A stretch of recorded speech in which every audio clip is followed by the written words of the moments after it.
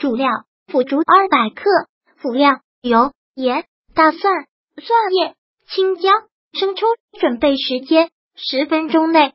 制作时间：十分钟内。原料图：把食材都洗净切碎备用。